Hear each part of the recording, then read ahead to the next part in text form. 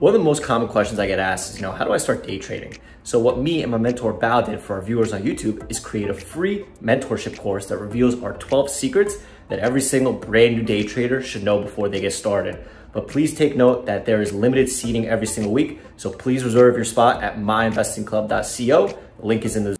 Uh, so yeah, we're going to be talking about Euphoria. And let's get, I'm still waiting on a, on a message or two. But I guess not. Okay. Right. So, so, so today I'm, I'm hopefully going to make this webinar a little bit different than normal. Just, I mean, just a little bit different. Well, because it's, I mean, we're in, we're in a different time. That's for sure. So, um, hold the line is the theme, theme of this week. Hold the line. And so we're going to be going over the market sentiment. That'll be a pretty big, that'll be a pretty big segment. I just want to kind of go over that um, first. Uh, then I I'm going to do the rant of the week next because I um because I want to what I want to do today is I kind of want to have a little bit of a party. Um, and not not just not like a party party. I mean, it's online. We're just kind of talking about fucking stocks, but like a party is in like I want to bring uh, I want to bring a mod or two on like and, and just you know kind of like I'm sure you guys don't just want to hear my rants. I'm sure you want to hear everybody else's rants too. So I want to bring a mod or two or three on. Maybe yeah, maybe maybe that'll we'll cap it at that just so it's not like so much. But um and then we'll just you know we'll we'll go back and forth and I have a couple ideas of who wants to come on. That's what I'm waiting for to see if Smon's gonna message me back, but I guess I guess they're gone. Um, um, or it's undo. Anyway, and so yeah, so we'll kind of have a little discussion session. We'll all talk about the traders of the week because I'm sure like it'd be more fun to hear some other points of view than just mine. Um, and yeah, and then like I have content to share, and if we get to it, like I, I, I, the the strat the the content part of the webinar will be kind of brief just because I'd rather talk. Um, yeah. So, however, we'll, we'll figure it out as we go. And it's a Q&A webinar. I'm happy. We're happy to answer any questions. Just go ahead and, and post them there whenever we're ready. Okay. So the fucking market, dude. Jesus fuck. Let's let's pull up the spy just so that when I minimize this, the spy is up here. All right. So the fucking market, the fucking market indeed. Yeah. So where were we? So if you remember last week, like we we had just got the um you know the the inauguration news, right? The the inauguration news hit the market. Pull up the GME exactly. And so the market got what it wanted, right? It got a it got a peaceful transition of power, and most of the roadblocks that we saw uh, were gone. Like the foreseeable uh, known ones are gone. Of course, unforeseeable roadblocks always stunt growth. Um, but normally we had that sell the news situation, but because of uh, but because you know when stocks pre-price that move, however, because the um, the anticipation of the uh, the that peaceful transfer, not the recovery. I do think that the recovery is vastly priced in because we're at all time highs. But that anticipation kind of didn't have, kind of wasn't priced in because I think there was still that uncertainty. Uh, and we got it, and it was fine. And we saw uh, like a nice market push that day, right? Once that was out of the way. And so like that, and I basically thought that we were, you know, like smooth sailing from here.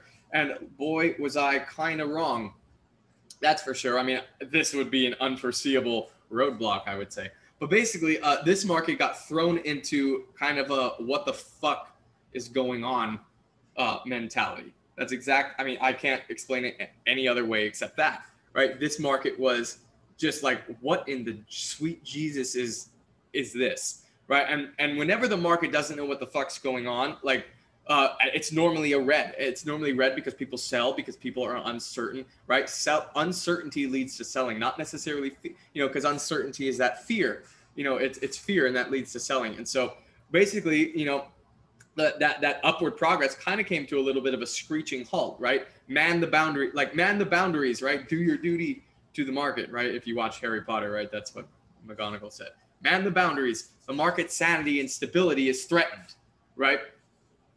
Um, you know, the, in the way, the only way I can say it that Reddit kind of hijacked the market, right? It kind of hijacked um, the entire market. I mean, and when I mean the entire market, I mean the entire market. Like, um, I like I had some swings and like um, I remember like the day GME like kind of like super tanked one day, and like literally like GME tanked and like all of my positions tanked at exactly the minute that GME tanked, like every single one. And I some large cap, some small cap, doesn't really matter. Like every single one just oh, like at 11 o'clock, just like, I'm just like, what the fuck? What was that? And I look at the spy, the spy's tank. I'm just like, what in the sh- what like why is GME having an, an effect on the market? I honestly didn't think it, it would, but it did, right? And so and the reason like the reason that I'm attributing to this, right, is I mean the, the these redditors just kind of hijacked it, and um, you know it remi- it kind of basically threw caution to the wind to every single investor,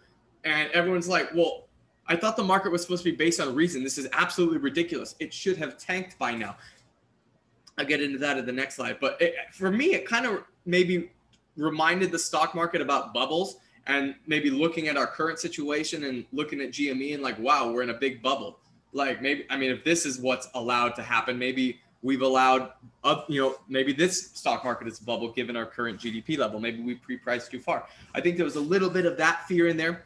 But ultimately, what I also think happened is there there was a lot of um, like I think there was a lot of algo tripping um, uh, like you know, like these a lot of these these algos are run by big firms, you know, like Citadel. A lot of these um, you know, these funds like these firms are are run a lot of these firms who supposedly got caught, these hedge funds, these big firms that got caught in uh, GME and AMC and you know, you know, all these like high short interest names. That's been the theme of the market right? A, a, lot of these like lost big money, which I mean, shame on them for allowing their positions to be that significant. But um, you know what kind of happened is, I, I mean, I think there was some algo tripping. I think there was some financing of other positions to finance their losses for this position, and like a whole lot of positions kind of sold off everywhere else across the board. And I think a little bit of that happened. You know, a little bit of kind of sell sell our position algos kind of happened. Um, you know, and like you know, like now that we're we started to see some reality kind of set in today, all of a sudden, look, you know, it's a spy kind of pop. This that spy kind of recovered because like in my, like my take on this is that like what that basically was is that the you know the market was rewarded with reason because we all know that GME should go down. So basically, the market it was kind of tanking in uncertainty because the market wasn't doing what the market was supposed to be doing. Like we all knew that we all know that you know the market wasn't being efficient and it wasn't correcting itself and it just kept going getting worse and worse like the unreasonableness in the market kept getting worse and worse and that's why we kind of saw this parallel action uh, between the spy and the gme like every time the spy tanked uh, every time gme ripped the spy tanked and every time when gme tanked the spy ripped we kind of saw that that inverse relationship right the market likes that this unreasonableness is slowing down and as reality sets in Hey guys, my name is Tosh Bradley. I'm one of the head mentors and moderators at My Investing Club. If you have any questions about getting started in trading, getting started in MIC, MIC in general, text me at 213-458-5997. This is not a robot. It is me directly on the other end of my business line, and uh, we'll get you in the club. We also have special promotions going on that I can get to you depending on your trading needs. Hit me up. Back to the video. You know, like maybe that can potentially slow down future unreasonableness and and I think that's kind of what's going on. And so I think that like the market kind of had its taste. Once the market realizes that there is some reality, even if it tanks higher now, as long as the market knows that it will eventually tank like it did now, even if it goes higher and then tanks again. But the second the market is rewarded with, you know, the that certainty of knowing, okay, we all knew it was going to tank, but it wasn't, but now it finally is.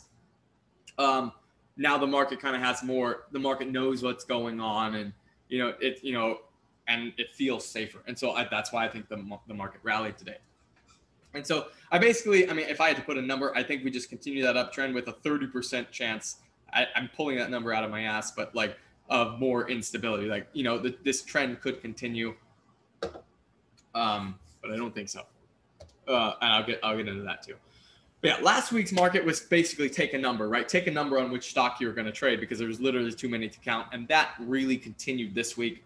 And last week, I had guessed like the previous week before that, like it, I had said, if the day twos had reclaimed, we'll get stronger, right? E- even though like we're kind of, we were kind of edging onto a seller's market, if the day two's reclaimings kept on um, continuing, we would get stronger. And honestly, what I had thought was that because we were still in this kind of January effect kind of market, I thought that we could see the market get even a you know nuttier than before, right? We could get even stronger of a bull market than before, um, and then we could start selling off hard, you know, because that you know the overall market like was just starting to get into seller's land, and I basically try kind of drew a stock chart. Like basically, I think that it could get a little bit nuttier before it ultimately stuffs and we get into sell land.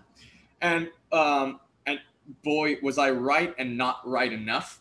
Like I was right, but I didn't think it would get this fucking this fucking bad. like this nutty.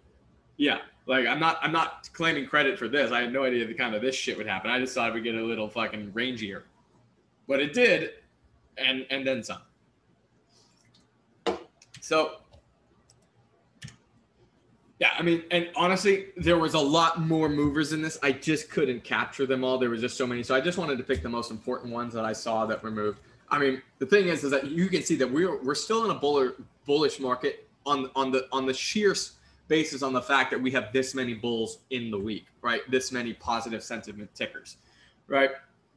All these stocks just went absolutely nuts. Um, the bullish factors in this market, you know, offering. I mean, dude, bingo's offered so many times. I think naked offer today didn't matter. Like offerings aren't meaning much. The range is fucking insane. Um, gap ups. I mean, I mean, a stock a stock like closes well and it gaps up the next day. I mean, it's not a for sure thing, but it's a very super common thing. Imagine if GME caused the market top. Um, there's no shortage of shares to borrow. That shit's just lighting up the market. In fact, that's the theme of this market. It's any stock that has high short interest, it's fucking going. In fact, there's a website. There's literally a website. You know, like high short interest stocks, and I'm sure you got some of you guys may have looked. High short interest stocks. Every single one of these stocks fucking spiked. Every single one of them. GME, SPCE, um, AMC, BBBY, Fizz, Fubo, right? All these stocks are literally the runners of the last two weeks, right? That's the theme of this market. Even KNDI, KNDI is on here and it popped or something. Like I saw that this morning. Like all these fucking stocks are just running. Like every single one of these just had a big pop, like all of them. And so, uh, like that's the theme of this market is high short interest, but that's no secret, right? But anyway, um, yeah, Thanks, Harry. Yeah, dude, GME needs to offer. I mean, they probably will, but it probably it'll probably just dip it and it'll go higher. But anyway, the bearish factors, right? I mean, we're super extended on a lot of names, and like they can always go higher, but they need like stocks do pull back, right? And that is a bearish factor, offering me a better price exactly.